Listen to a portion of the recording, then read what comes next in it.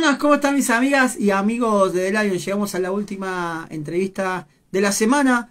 Eh, vamos a estar hablando en minutos con una banda metalera, Patterns. Este, vamos a estar hablando con Francisco Mera, su guitarrista. Así que los invito para que se sumen, aquellos que quieran participar, aquellos que no conozcan la banda también estaría bueno que se sumen para que conozcan un poco más como digo, como digo siempre. Estamos en vivo desde Colonia del Sacramento. Aquí son las 10 eh, pm. Así que saludos, buenos días, buenas noches, buenas tardes, ¿por qué no? A todos los que se sumen.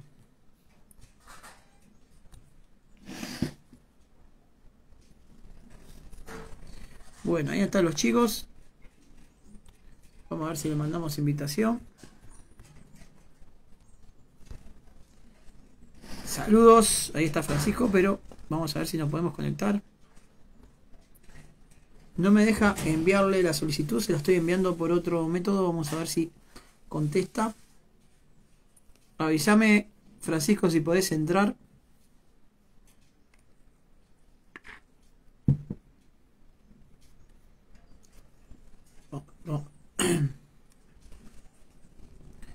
Vamos a ver. Ahí le mandamos de vuelta.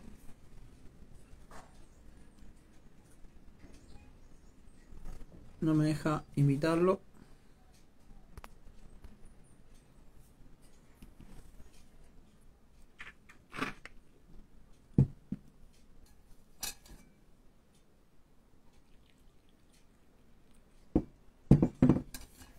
Ahí estamos, vamos arriba.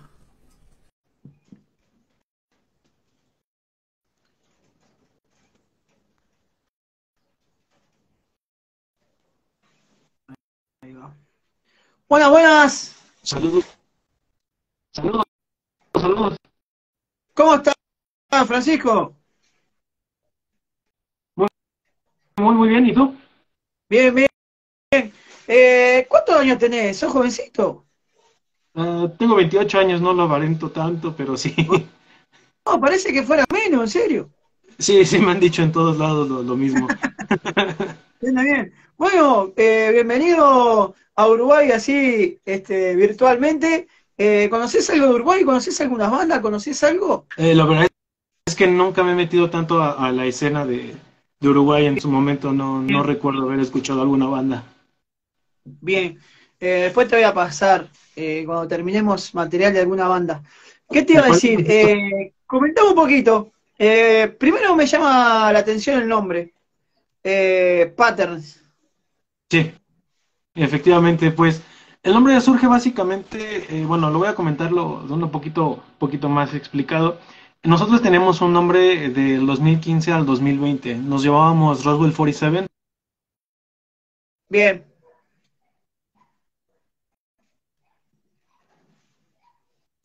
En ese momento nos separamos y cada quien se fue por su lado.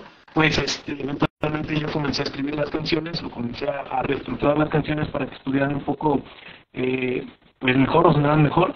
Y en ese momento comencé a reunir otra vez gente, a, a, la gente que yo sabía que era muy comprometida en el proyecto anterior.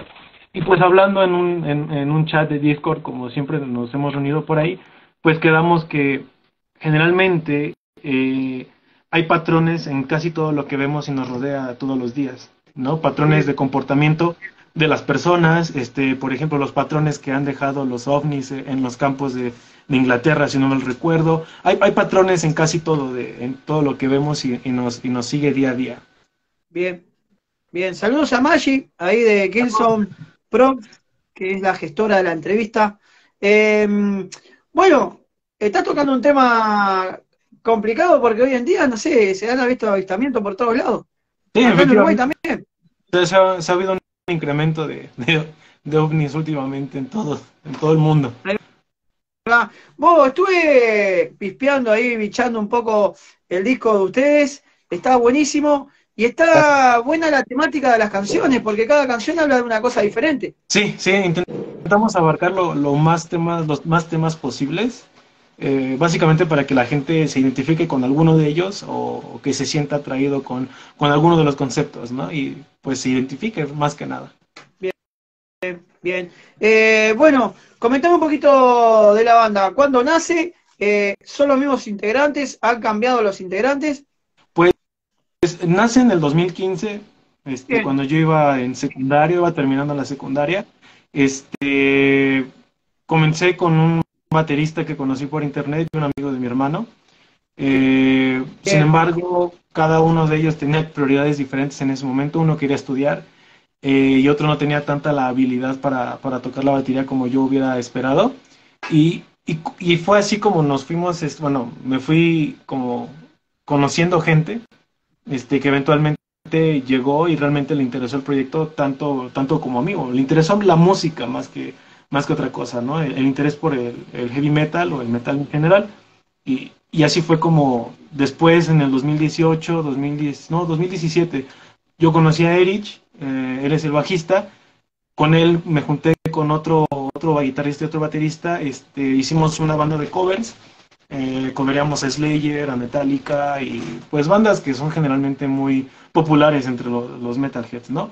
Eh, después de eso, pues cada, igual como siempre, cada uno tuvo sus prioridades eh, yo me quedé con Erich y conocimos a, un, a otro baterista y conocimos a otro guitarrista por internet. Eh, y ese guitarrista es el que se ha, permanecido conmigo desde esa época. Y tenemos una ah. comunicación muy fluida. ¿no? Erich se separó de nosotros por un tiempo, pero eh, afortunadamente nos volvimos en contacto otra vez hace un, recientemente, hace unos meses, y, hicimos química otra vez. Bien, bien. Y contame vos, ¿cuándo, ¿cuándo empezás eh, tu carrera de música? ¿A qué edad empezaste a tocar la guitarra? Pues como a los cinco años. Ah, bien, bien chiquito. Sí. Eh, a mi papá en algún momento le regalaron una, guitarra muy bonita y pues a mí me gustó mucho. Yo, yo comencé en el mundo del metal gracias a, a, Rammstein y había un DVD, el de Live House Berlin, que yo siempre veía, o sea, era diario yo veía ese DVD y siempre vi a Richard Sven Cruz como una, una, una, guía para ser guitarrista y yo quise ser guitarrista por, por ellos, ¿no? Entonces, este, pues sí, esa es la historia, fácil. Bien, te iba a preguntar nuevamente sobre la tapa de, del disco y de los y de los singles. ¿Quién las hace? Porque está buenísima la gráfica. Este, bueno, pues la hacemos todos, ¿no? Cada, ah. cada miembro pone, pone de su parte eh, la verdad es que nuestro proceso creativo creo que es un poquito muy uh, pandémico o a la pandemia, eh, dado que las canciones pues se escribieron con su tiempo, a su, a su debido tiempo. Eh, sin embargo, por ejemplo, como nunca hemos conseguido un baterista, un baterista de planta, utilizamos baterías por este, MIDI o a través del, software de, de, grabación. Este, Jorge es el que se encarga de hacer la mayor, de la mayor parte de los solos. Eh, él, es muy virtuoso, para mí es uno de los mejores guitarristas con los que he tocado y, definitivamente siempre me ha gustado cómo, cómo, cómo, interpreta las canciones, ¿no? Erich, por su parte, mm, siempre nos ha ayudado como que a, visualizar las canciones como un todo y buscar la forma en la que tengan coherencia entre sí. Bien, bien. Contame un poco del proceso de, creación de las canciones, ¿no? ¿Quién es el que escribe, eh, pone música entre todos? ¿Cómo, ¿Cómo arman las canciones? Bueno, pues, por ejemplo, alguien puede llegar con un riff, eh, como tenemos este cierto equipo para poder grabar cada quien en su casa, alguien simplemente graba un riff de guitarra, un riff de, bajo, lo graba y nos lo manda, y pues por ahí comenzamos a, estructurar las canciones, ¿no? De, eh, yo tengo, si bien no soy muy, no soy un baterista bueno, eh, tengo nociones de rítmica, entonces cuando me mandan un riff, yo comienzo a ponerle batería y es ahí como vamos agregándole, ¿no? Hay veces en las que cada miembro puede, puede soltarse y escribir una canción completa. Eh, hay veces en las que sí la vamos como que armando de, pedazo a pedazo. Bien. Todo casi a través de la nube. Eh, claro, claro, claro. ¿Qué, ¿Qué, busca dejar Pater en cada presentación, en cada show? ¿Qué le quiere transmitir a la gente? Bueno, primeramente, eh, yo la música, el heavy metal siempre la, la, la, he entendido como una música para desahogar eh, la, ira, el enojo, la, frustración, el, tener algo con, qué, con quién o con qué desahogarte. ¿no? Eh, lo que buscamos es que la gente se sienta igual y pueda, si tuvo un mal día, que al escuchar nuestra música o al presentarnos, pueda desahogar esas emociones de frustración que, tenga, que trae consigo mismo. Porque pues todos traemos siempre, ¿no? Eh, tanto depresión, tristeza, tenemos ira con nuestro jefe, ira con un compañero, o pues venimos de un choque, estoy con, con este, la ira ¿no? a tope, entonces creo que la música este, propicia o podría propiciar a que pudieran eh, desembocar esas emociones y estar bien consigo mismos principalmente. Bueno, estaría bueno que si desembocan las emociones que no le tiren silla ni le tiren nada, porque no, viene re caliente, viene re caliente del trabajo, con, con lo que es con el jefe, te tira de todo. Esperemos que no a ese nivel, pero pues que sí se entretengan o se diviertan y pasen un buen rato entre, entre la gente. Bien.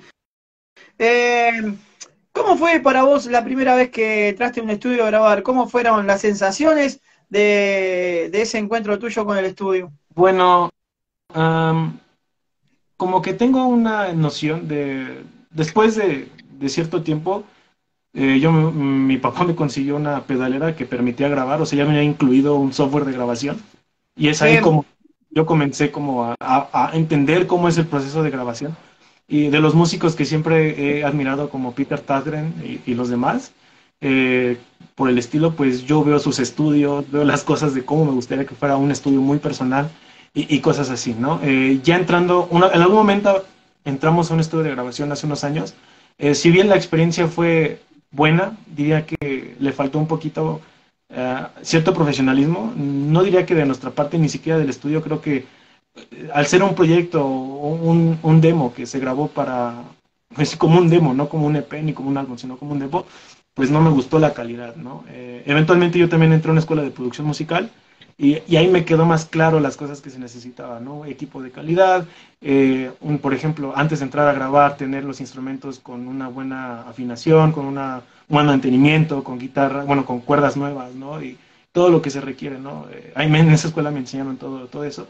Y cuando entramos a grabar este disco, pues fue un proceso muy casero relativamente hablando, porque nosotros grabamos las canciones eh, con un este, procesador de efectos, básicamente, eh, que nos permitía como que poder ajustar la, distorsión de las guitarras, la distorsión del bajo, y, en este caso en particular, si bien teníamos escrita la rítmica de la batería, buscamos a un baterista de sesión que nos pudiera como ayudar a terminar la, la visión o que si bien pudiera guiarse con la base, pudiera él también alimentar la canción o las canciones con ese tipo de cosas. Una vez terminado eso, lo que sí grabamos en un estudio fue las voces, porque eh, el estudio que yo tengo no está diseñado acústicamente para eso y honestamente nunca me he sentido confidente con, con la voz. Entonces fuimos a un estudio que se llama Noise Cult Studios, con un profesor en la escuela en la que estuve, eh, que se llama Abraham Rodríguez, o Ramírez, no recuerdo, pero eh, con él grabamos o grabamos las voces y él se dedicó a hacer la mezcla y el máster. Ah, bien. Sí. bien.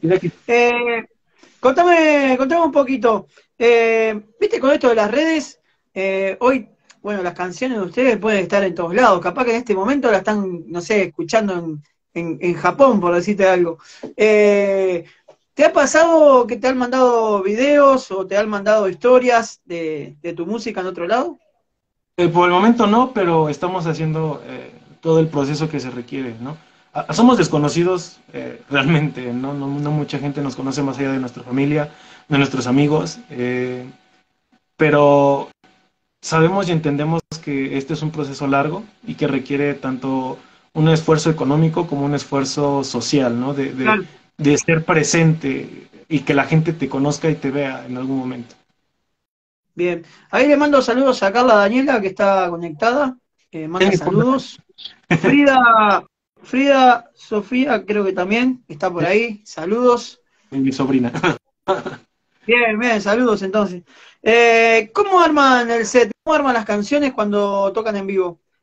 Bueno, eh, realmente Creemos, creemos que somos una banda relativamente dramática o que nos gusta mucho la teatralidad. Entonces comenzamos con una que bien haga cierta inmersión o, o, meta a la gente de, lleno de decir esto es diferente, ¿no? Esto es un sonido que creo que me va a gustar. De ahí entrada comenzamos a tope con, con todo el, el, el volumen o, o, con todo el ritmo. Este, intentamos mantener ese ritmo, ese volumen para que la gente no se aburra y también siga con, con nosotros dentro de lo que se pueda. ¿no? Antes de terminar el espectáculo, pues, eh, el, concierto, pues tenemos una, una canción que si bien es muy larga, tiene muchos matices, de, a veces es lenta, después muy lenta y después entra como que muy, muy rápido y con eso terminamos básicamente. Bien. Bien. ¿Cómo, ¿Cómo fue el debut de la banda? ¿Cómo fue la primera vez que sonaron en vivo? Bueno, si consideramos eh, la banda que ahorita está con este nombre, Eh, vamos a tocar el 3, el 4 y el 5 de marzo. Estamos ensayando para poder dar eh, todo, todo de nosotros en esos días. Previamente han sido días o han sido espectáculos que han sido difíciles en el sentido de que si bien nosotros damos todo, pues a veces no está el aforo completo o hemos tocado hasta para una persona, para dos personas, ¿no? Digo, ah, a mí me encanta la música y, a, los, a, los, otros compañeros, a mis otros amigos también les encanta. Eh, y siempre damos todo, pero sí llega momentos en los que es difícil ver a poca gente o casi nada de gente en, estos lugares. Es, insisto, creo que es un proceso y para allá vamos a ver cómo nos va.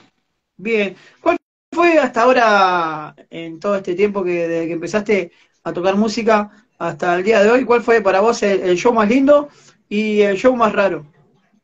el más lindo fue, eh, un más padre, fue uno que tuvimos con una banda de amigos, no recuerdo ahorita el nombre, era una banda de metal completamente mexicano, con sonido muy, muy mexicano. Eh, nos, inventaron, nos invitaron a, un festival que ellos armaron entre amigos, asistieron entre 30 y 50 personas.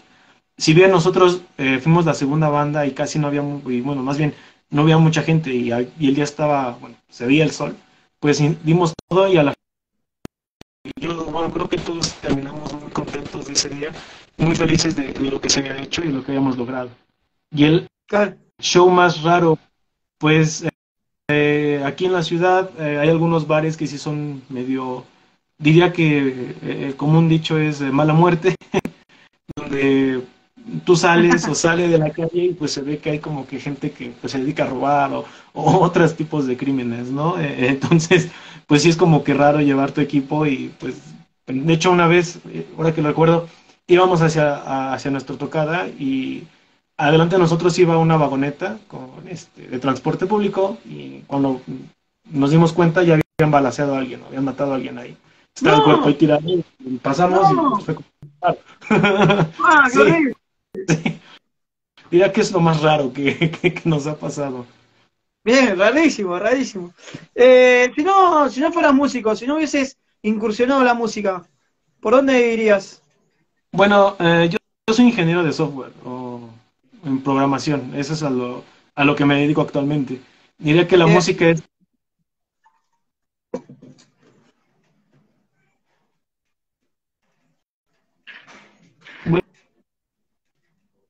todos los días.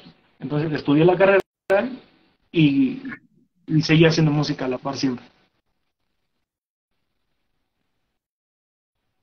Bien, bien.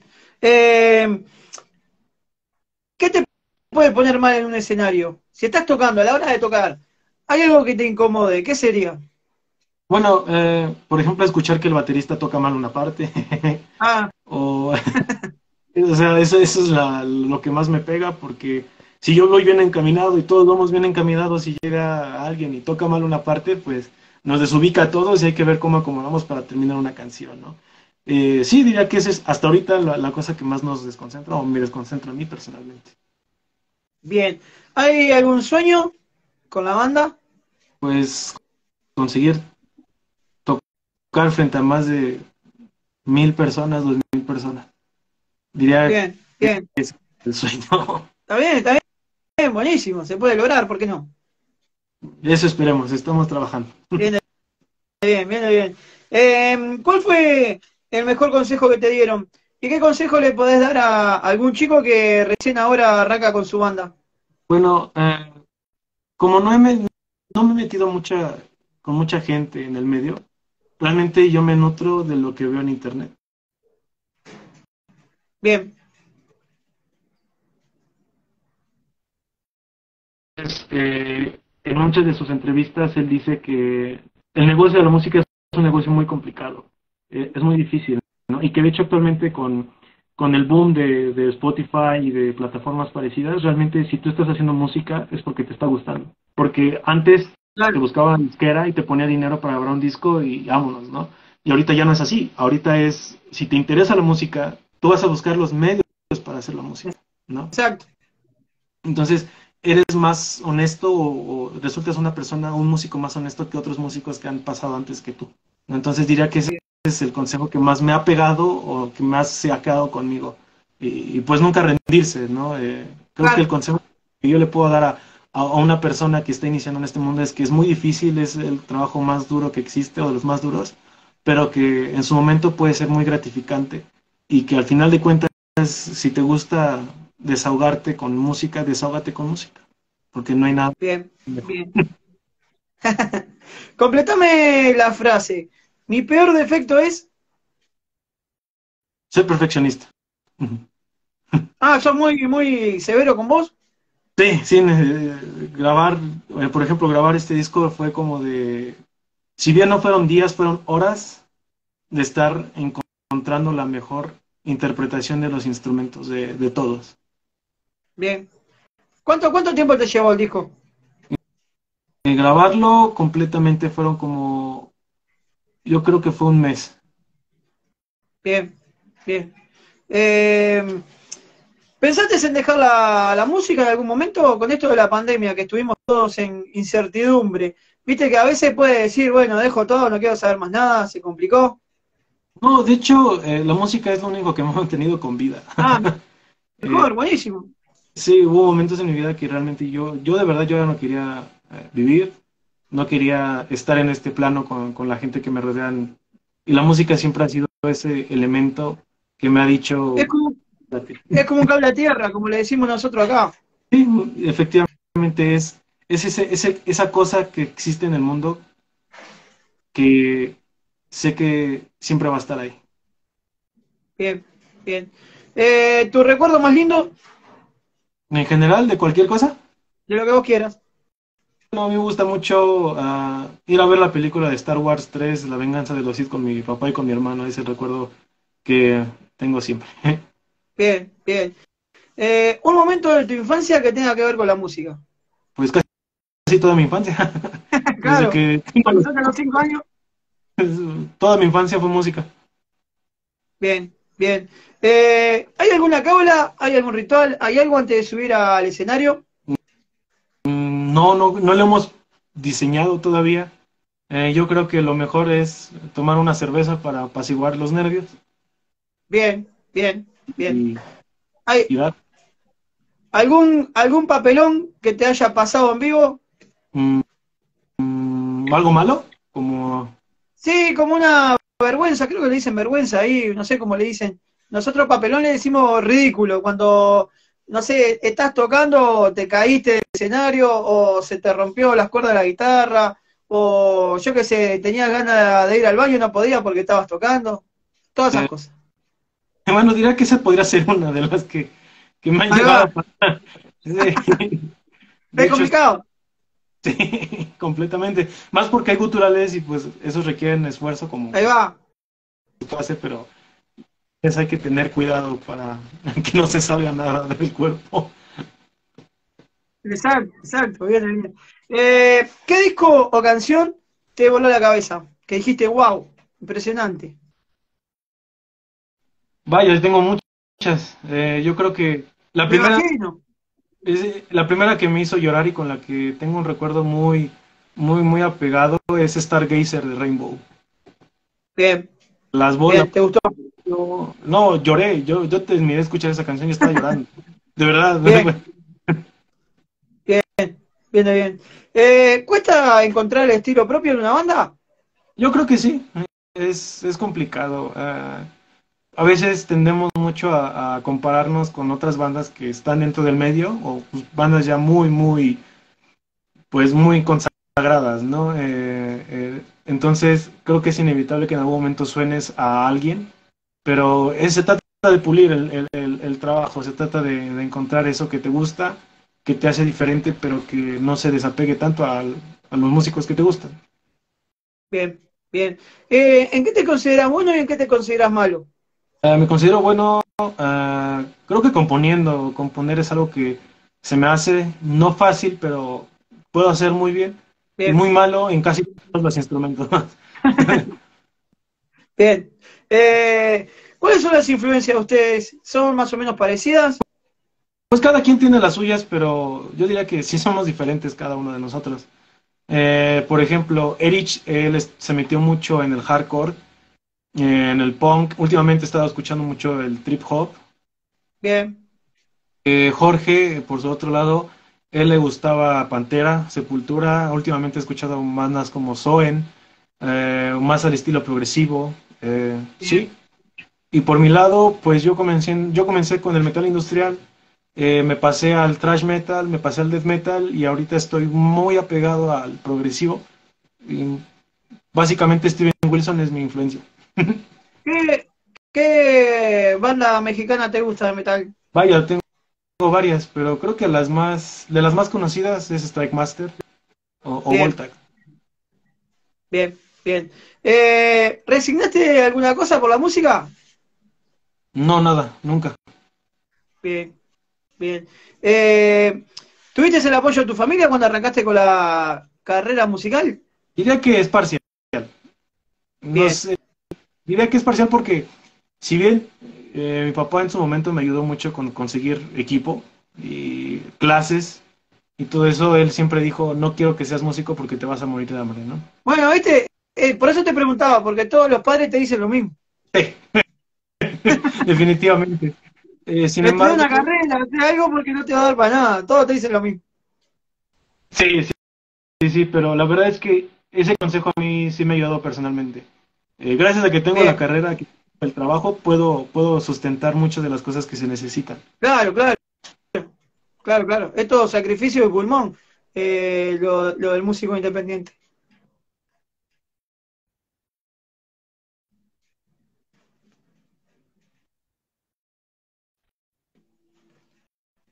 Uh, se los cortó. Ah, ahí estamos, ahí estamos. Se había cortado un poquito. Te había perdido. Perdón, perdón. Internet. Eh, ¿cómo, ¿Cómo enfrentas un error en vivo? Cuando pasa algo o te pasa algo con la guitarra, o, o puede ser, viste, que se te rompa una cuerda y tengas que cambiarla de apuro. Pues yo diría que como nunca me ha pasado un error tan tan mal, es, es eso, estar preparado. Y realmente cuando te enseñan guitarra o los profesores que me han dado clases, es no te detengas y sigue, ¿no? Ya sí. terminarás, ya, claro, claro. la repetición adecuada, pero empieza y termina, ¿no? Nunca te quedas a la mitad. El show debe continuar, dice. Exacto. Bien. Eh, para que no conoce la banda, ¿no? A Pattern, ¿por dónde tendrían que empezar a conocerla? ¿Cuál es la canción eh, que vos decís, bueno, escuchen esto, que este es el principio para que nos conozcas? Sara. Sara es la canción Sara. con la que tienen que... Sí, es la primera del disco también por lo mismo. Eh, si bien es una canción que hicimos hace mucho tiempo, actualmente creo que es la mejor que define todo lo que podemos hacer. Bien. A nivel de, de, brutalidad y a nivel melódico. Contame un poquito de la letra, ¿de qué trata? Claro.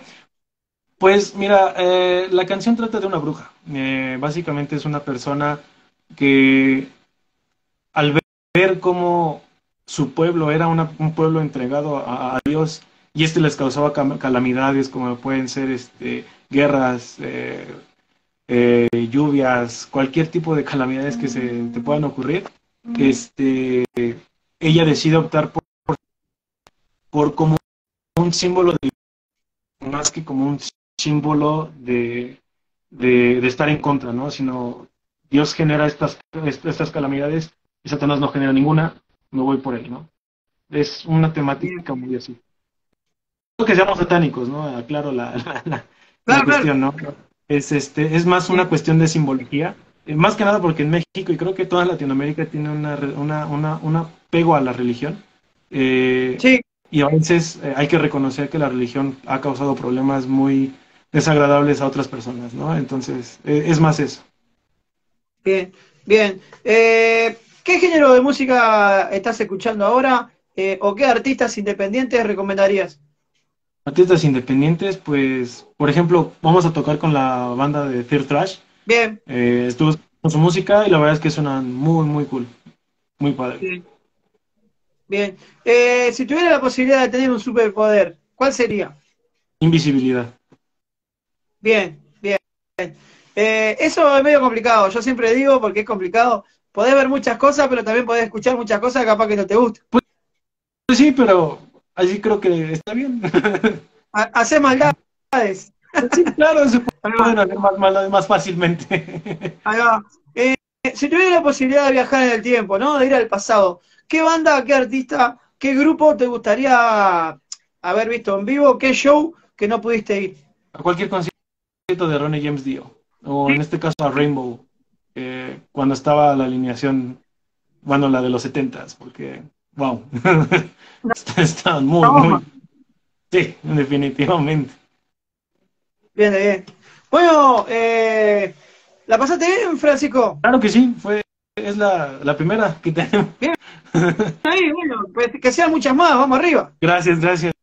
Igualmente para ti. Que, sirva para que abra puertas en, otros lados y que en algún momento ojalá puedan venir a Uruguay. Me encantaría, la verdad es que me encantaría poder hacer también una gira por toda Latinoamérica, pero es, solamente el tiempo lo dirá. Ahí va, paso a paso, tranquilo. Viste que a veces cuando te apurás salen las cosas mal y cuando viene la cosa lenta es lo mejor. Sí, efectivamente. Con paciencia. Bien, bien. Invitar a, invitar a la gente eh, que después, porque esto queda grabado acá y después eh, la gente lo mira. Eh, decirle las páginas donde pueden escuchar la música, donde se pueden bajar el disco, donde pueden ver videos. La verdad es que en cualquier plataforma digital ahí está todo, ahí está el EP. Spotify, Amazon Music, Apple Music, uh, YouTube, eh, realmente creo que no hay ninguna plataforma en la que no esté. Eh, eh, estamos en Facebook como Pater the Band. está la portada del disco. No creo que haya tanta pierde o no hay, no hay pierde. De hecho, en la, cuenta de Instagram, que es reciente. No estamos muy acostumbrados a redes sociales, pero ahí vamos. Bien, bien. Hay que adaptarse a las redes ahora. Efectivamente. vamos arriba. Querido, te mando un abrazo, saludos a los demás chicos y bueno, éxitos y lo mejor con, este, bueno, nuevo disco y que vengan mucho más atrás. Muchas gracias. Igual te deseo mucho éxito. Vamos arriba, cuídate. Hasta luego. Hasta luego.